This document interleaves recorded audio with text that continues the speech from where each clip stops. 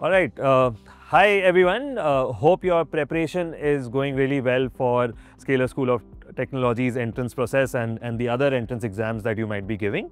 Now, as you know that we have recently started applications for the 2026 batch and we have made certain tweaks to the application process, be it the video essay, the fast track route or the NSET difficulty level and in fact, like recently we had done some AMAs in which we got some common questions. So this video today is going to clarify a lot on those changes, some common doubts that you have around those. My name is Manmeet Singh Akali. I am the program director at Scaler School of Technology and don't worry, uh, you will have 100% clarity after you watch this video. Uh, now first, let's start with the video essay. Now in the video essay, all we are doing is we are asking you why do you want to study at Scaler School of Technology and what do you want to achieve by being here for four years? Now, obviously, what are we looking for? We are looking for your intent. We're looking for your passion to study computer science, technology, and especially at Scaler School of Technology. Remember, this is a mandatory step, which means that you will not be able to access all your NSET preparatory material, be it PYQs, uh, previous year questions, uh, be it mock tests, uh, once you submit uh, your video essay and book a slot, only then all of that gets unlocked. So this is mandatory. Now, where is this video essay going to be used by our admissions team, right? Now, number one, very clearly the video essay will play an important role in the scholarship decision. Your passion will shine through when you are communicating with us. Second is that if there are two candidates and there is one seat, both have very identical scores. Now, in that scenario, the video essay comes in and that tells us about the candidate's passion over, let's say, some other candidate. So that's why also it is important for you to spend time on this step. Now, don't worry, we are not going to eliminate people basis this. This is just to strengthen your profile okay it does not take too much time it, it's maximum 30 minutes of work we do not want you to be too prepared right it's absolutely okay to take the help of gpt as well as long as the inputs to GPT are honest and unique. Use your life stories. Essentially, you can structure it like what's your life story, what's your background, what you have done in school, any achievements if you have to add. Why do you want to study technology? If there is a story there, please add that. And then why do you want to do it at SST specifically? These three segments, if you cover, it will not take more than 5-6 minutes for you to actually record it. Also, don't worry that you don't have to record it on our platform. You can ask someone from your family to record the video for you. It has to be a maximum of 2 minutes and you can upload that recording as well. So it's going to take 30 to 45 minutes of your time but it will unlock, it will actually help you only think about your life decisions so that you make the right call. So folks, uh, another question that we often get is, sir, but my English isn't that great. My communication skills aren't that great. Guys, y'all are just 18 year old. Some of y'all are from uh, not tier one cities and it's absolutely okay. We are teaching a computer science program. In fact, we have soft skills development over here. So we do not expect you to have great English. It's okay to use regional words. It's okay to fumble. It's okay to have an accent. Don't worry about any of that. Just do your best in telling your story. Another question is that how many times can I record this, okay? Now, of course, you can record it on your own phone multiple number of times. Whenever you are happy with the output, you can then upload it on the platform. Uh, the next question is that, hey, but I'm a parent who is filling the form and my kid is uh, maybe at a hostel, etc., etc. Uh, again, don't worry, you can ask your kid to record uh, using their own phone, a friend's phone, teacher's phone, and then share it with you, and then you can upload it on the candidate's behalf.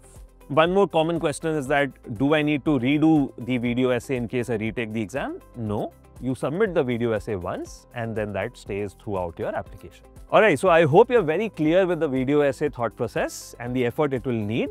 So go ahead and do it immediately so that you can unlock your preparation resources to prepare for NSET.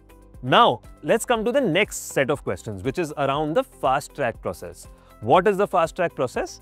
Essentially, we are saying that there are other entrance exams that we trust, for example, JEE and SAT, these two, where in case you have done well in JEE, then we are saying that maybe you don't need to give the NSET entrance exam. However, you will directly be taken to the interviews. Everyone will have to give the interviews and are the interviews any different for these fast track folks? No, it's the same set of two interviews. Interview one is an AI interview again on mathematics and second interview is a human interview where industry professionals will interview you uh, to test your math, logic, and again, intent to join SST. So that's the fast track process. While filling the application form, we ask you some of these details. When you share this with us, the application module uh, will tell you that if you are eligible for fast track or not.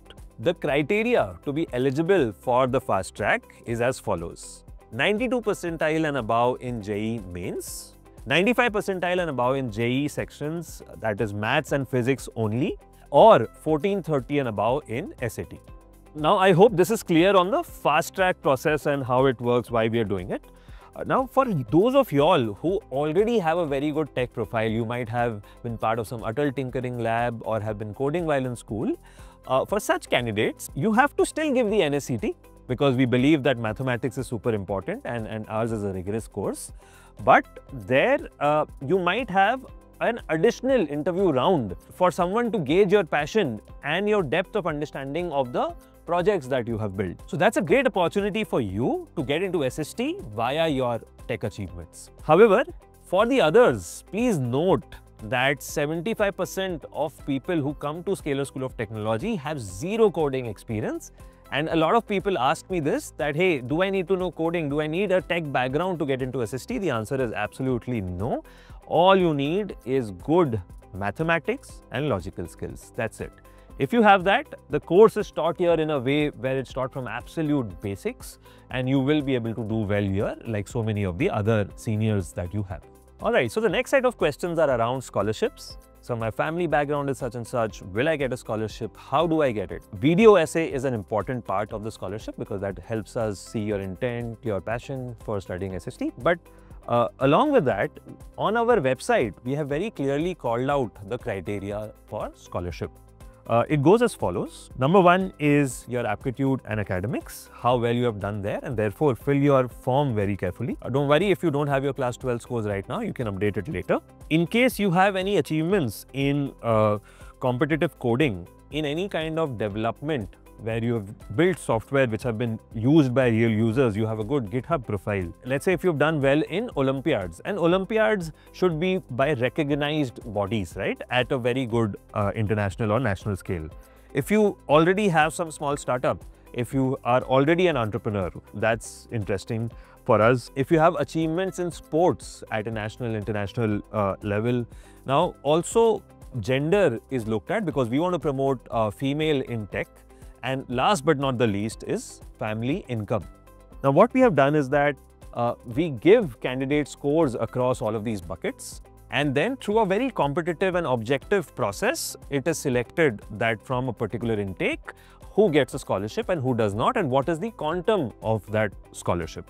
So I hope this clarifies that not just one parameter needs to be met, which is let's say family income, but it is a combination of all of these which decide if you get a scholarship to study at SST or not. So the next set of questions is around NSET preparation. So while we are working on launching a video for 2026, in the meanwhile, what you can do is check out the 2025 video. The syllabus hasn't changed. Maybe the level of difficulty of questions might go up, but for you to start preparing, you can refer to this video that you see here. It has all of the details there. Now coming to the final set of questions, which is around degrees and career outcomes after SST. Sir, I am convinced about SST. How do I convince my parents? Don't worry, we are here. One, you can request a callback by clicking this button here. And once you do that, a counselor will get in touch with you, explain things to you so that you can explain it to your parents, right? Additionally, once you have an offer we will be there with you. We will do a couple of sessions so that your parents understand. In the meanwhile, till all of that happens, look, on degrees, after every year at SST, SST gives you a certificate which is NSDC certified, National Skills Development Corporation certified, and students in parallel pursue a BSc honors from either BITS Pilani or a BS uh, from IIT Madras, which means that students have all the skill sets that are needed to succeed in tech and become like a really skilled engineer and at the same time have formal degrees. And then coming to career outcomes, what this enables is all these skills and formal degree enables is that one, from a placements point of view, Scaler gives you access to all of the recruiters, 1200 plus top recruiters that Scaler works with. And uh, honestly, none of them really worry too much about degree. They worry about how strong your profile is, what kind of projects it has, what kind of internships, uh, how strong is your GitHub profile. and when you when you go through the SST curriculum, it automatically develops well for you. So you go through that, you get access to opportunities and that's how you get great outcomes, which is what you see for the first batch where 12 of them have got global internship offers, uh, high stipend of 2 lakhs per annum, etc. And you can check out this page, which is our entire placements page. And additionally, on this whole question of SST does not give a particular degree, how will our students succeed? There is a video that Anshuman Singh himself has created where he explains everything in depth. See it. There is a version in Hindi also exists that in case you need to show your parents. I hope this clears all your questions around the new admission process changes. Remember these steps are designed to understand you better, not to put you under any pressure. In case you still have any questions or need more clarity, feel free to reach out to our admissions team on this email ID or simply drop your questions in the comments below. We'll be happy to help. So all the very best for your preparation and we look forward to seeing you soon on campus.